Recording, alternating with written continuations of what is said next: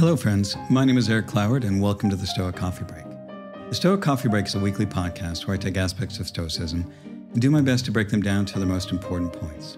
I share my thoughts on Stoic philosophy, as well as my experiences, both my successes and my failures, and hope that you can learn something from them, all within the space of a coffee break.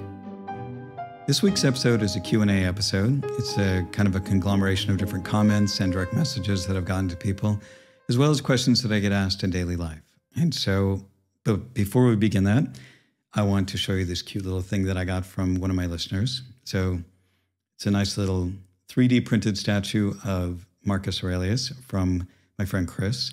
So he's been listening to my podcast for several years, and we've gotten to be pretty good friends, and he's a great guy. So thanks, Chris. Uh, anyway, let's go ahead and start with this week's episode. So the first question that I get asked all the time is why Stoic philosophy? Why do I follow Stoic philosophy? Why not Buddhism or one of the mainstream religions or any of those kind of things? Well, it comes down to a number of things. Is that first, Stoic principles are very basic principles that have been part of my life even since I was a little kid in church and what my parents taught me. So there's nothing in it that contradicts my core values that I think are important, like being kind to other people, helping out other people, being of service to others. And the thing that Stoicism really helped me to figure out, though, there are a couple of different things. But the first and foremost is understanding what I have control over and what I don't. And this is a very important aspect for me because I used to be much more angry about a lot of things, and which kind of belied my generally calm demeanor for the most part because then something small would happen and I would snap about it. And I never really understood why that was the case. But it came down to there was a lot of anxiety and stress internally that I wasn't really dealing with because I didn't know how to deal with it. And when I found Stoicism and understanding the, the dichotomy of control, meaning the things that I have control over and the things I don't, it really helped me to start to see the world in a very different way. By understanding that I only have control over my thoughts and beliefs, my perspectives, my choices, and my actions, then it really helped me to let go of all these other things that were outside of my control. And that if something was upsetting me, it was generally because of some kind of thinking that was going on in my head. And so understanding that I had control over the way that I thought about things and that I just had to look at the thoughts I was having around that and examine those things, it made it so much easier for me to not get upset about a lot of things. I could let go of the things that I didn't have control over and just focus on those things that I did have control over. And that brought me tremendous amounts of peace in my life. And my general anxiety level is so much lower. And when I am stressing about something, it's because it's something big that I'm struggling with, but it's not something that is outside of my control. It's just something that I either don't understand or there's some type of fear that's wrapped up in that. And I can look at that fear and start to examine that and work through that thought or that fear that's there and start to do something about that. And one of the big areas that Stoicism really helped me with was understanding that I couldn't control what other people thought of me. So I used to be a real big people pleaser. I would try to say things that I thought would make people like me. And oftentimes this came off as very disingenuous. Uh, it can come off as manipulative because really that's what it is because people wanted to know who I was, not necessarily that I would say things that they wanted to hear. So, by understanding that I couldn't control other people and letting go of those things, it made a really big difference. Now, one of the reasons that I was so worried about what other people thought of me was that for a long time, because I was a people pleaser, I needed that validation to feel like I was okay as a person. And I had a big blowout, and I talk about it in episode 218. So I highly recommend going back and listening to that one. It's all about self acceptance. But what I found was that the reason I needed that validation, like I said, was because I didn't feel okay about myself. I didn't think I was a very good person.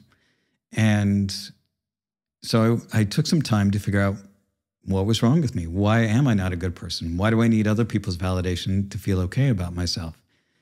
Which led me to another deeper level where I recognized that these things that I thought were awful about me were things that I hadn't really confronted. So I sat down and I wrote down everything that I didn't like about myself. And I know that sounds a little bit crazy, but if I was going to figure out what was so bad about me, I needed to really know what that was. And so I wrote down everything I didn't like about myself and I looked at the list and realized that there was nothing on there that was all that bad. In fact, they were some of the same things that my friends struggled with. And I still love them, even with all of their faults and their shortcomings. So why couldn't I do the same for myself? And in doing so, I just worked through accepting that these are things that I don't like about myself and accepting those things. One, because they were real, and two, because that's what self acceptance is all about.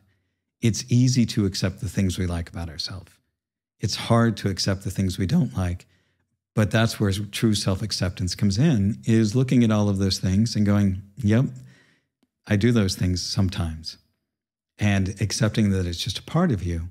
And that really can change so much in your life. You can be much more accepting of yourself, obviously, and you can also be much more accepting of others and their faults.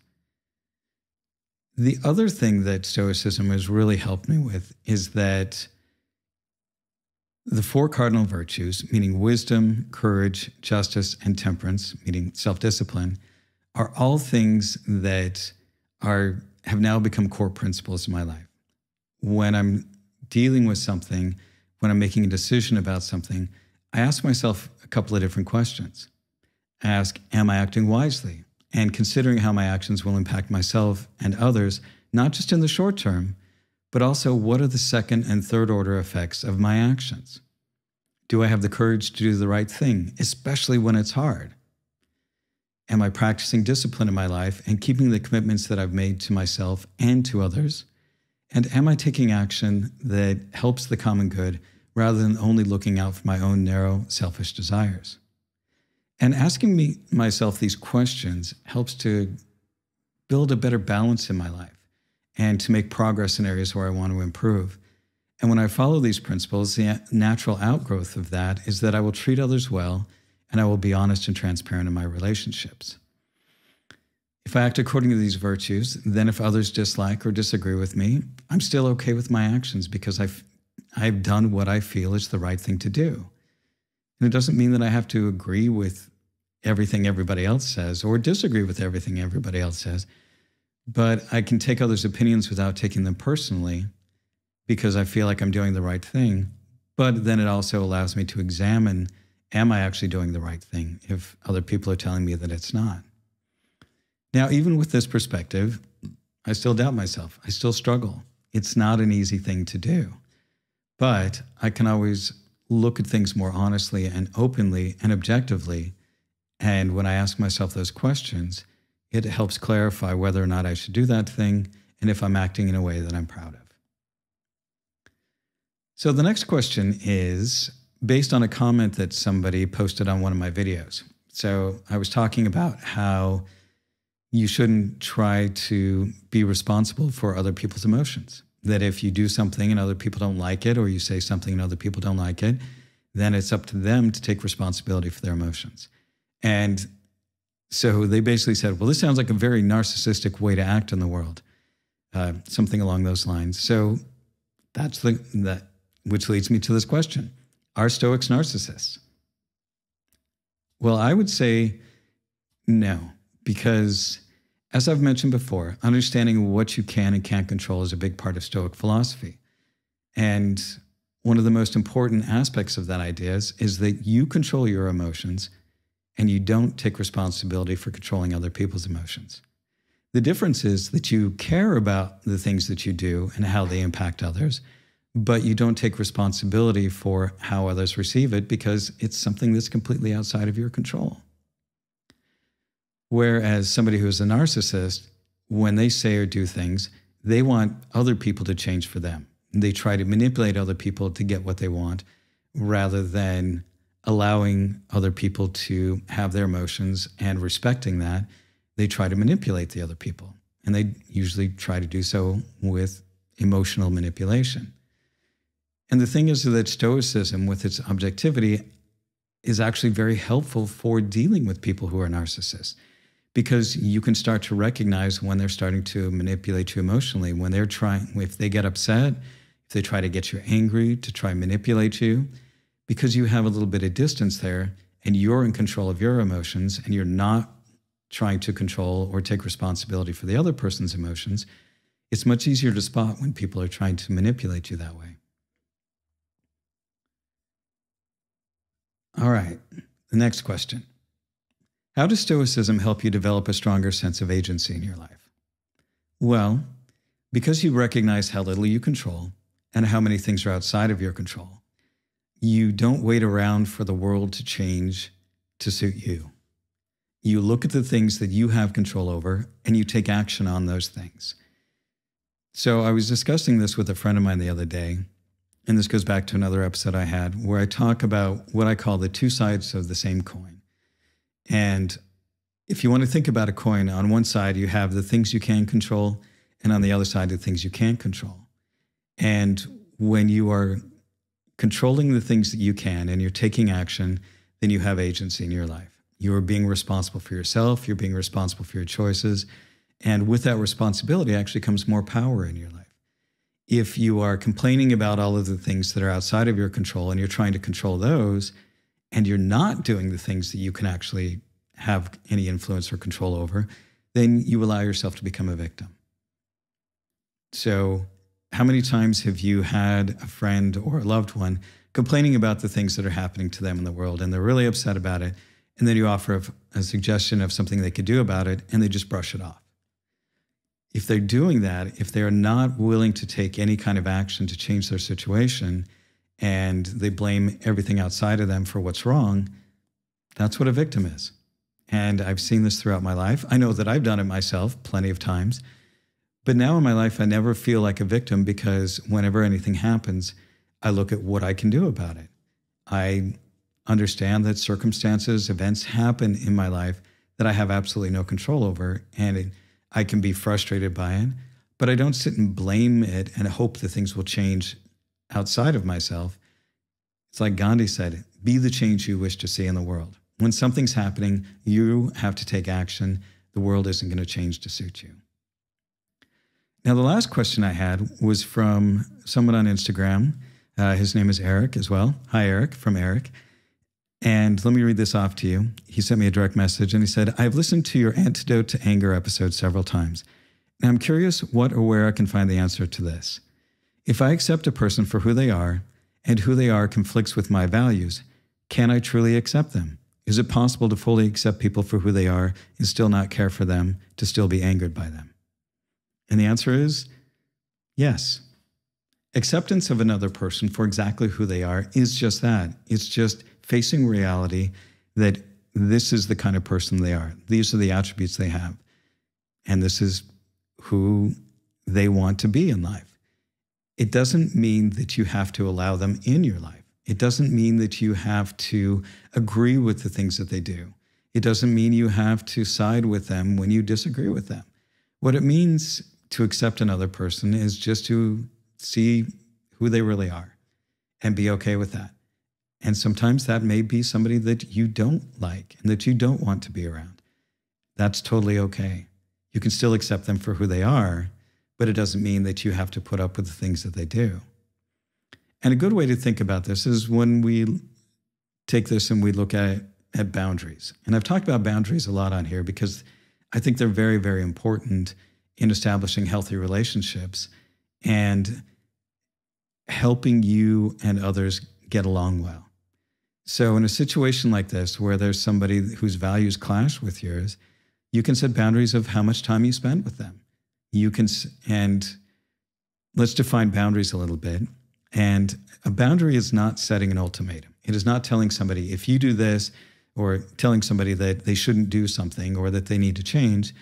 A boundary is simply letting them know if they take a particular action, what your response will be. That's it. So if you're if you have a friend who's maybe loves telling racist jokes or something about that, like that, and you don't really like being around them, you can let them know, hey, when you start going off on your racist jokes, I'm going to leave because that's just not something I want to spend any time around with. I don't need that energy in my life. Or if somebody is regularly abusive towards you, you can let them know, hey, this is where the line is. When you start acting this way, I'm just going to have to leave. Whatever it is, it's you letting them know what your response to their actions will be. It is never an ultimatum or a demand that they change. It is simply you taking responsibility for the things that you can and you making a choice based upon what their actions are and letting them know what those are. And those boundaries are oftentimes very hard to set because sometimes people get really upset when you start setting boundaries. One, because it shines a light on some of their behavior that's probably not very good.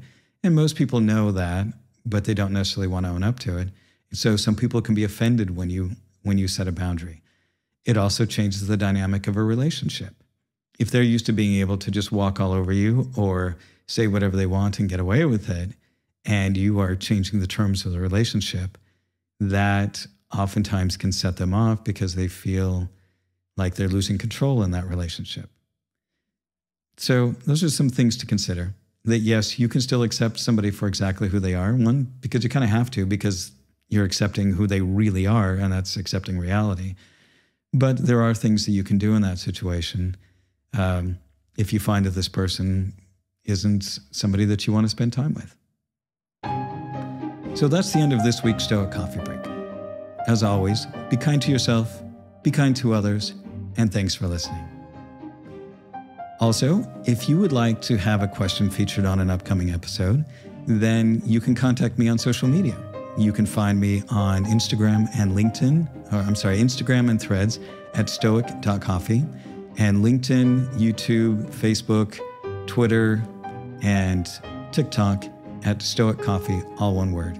If you comment on this post or comment on any of my other posts and ask a question, I'll do my best to either put it in another episode or maybe it can be a complete episode if the topic is big enough. So, thanks again for listening and have a great day.